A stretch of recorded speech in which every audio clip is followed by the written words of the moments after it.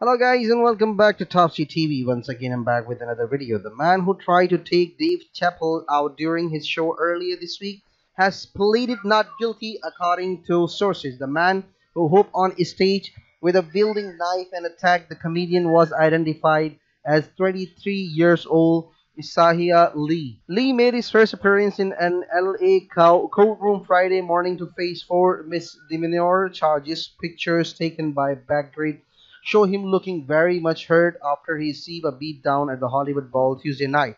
Mr. Lee's right arm was in a cast and, uh, and a sling as he entered the courtroom and entered a not guilty plea on all charges.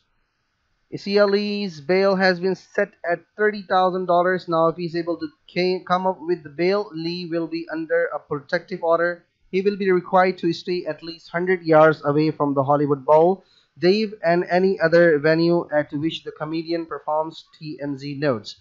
So what was the reason for all of this? Well, Dave Chappelle actually spoke with that guy and asked why he attacked him. His answer was very strange. Chappelle says Lee told him that it was this was all about getting attention for his grandmother, who he said had been forced out of her neighborhood because of gentrification. Well, what are your thoughts? To tell us in the comment section below. I hope you like the video, subscribe, and thanks for watching.